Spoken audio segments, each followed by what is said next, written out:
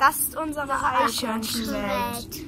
Wir haben sie aus Stein drunter gemacht und ein paar Stützen und dann noch Schalen von Rinden, weil manchmal die Steine nicht gehalten haben. Dann haben wir Moos drauf gebaut oder eben das Moos weggelassen, weil wir eben nicht so viel hatten.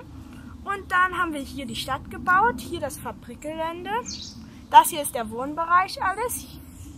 Das hier ist der Vergnügungspark und das ist ein Museum. Und damit die alle Eichhörnchen dann eben von, zum Beispiel vom Museum eben zum Vergnügungspark kommen oder vom Museum zum Wohngelände, haben wir eben dann alles Übergänge gebaut, wie hier und da und hier. Im und dann haben wir öffentliche Wege gebaut und eben Steine als Häuser hingestellt.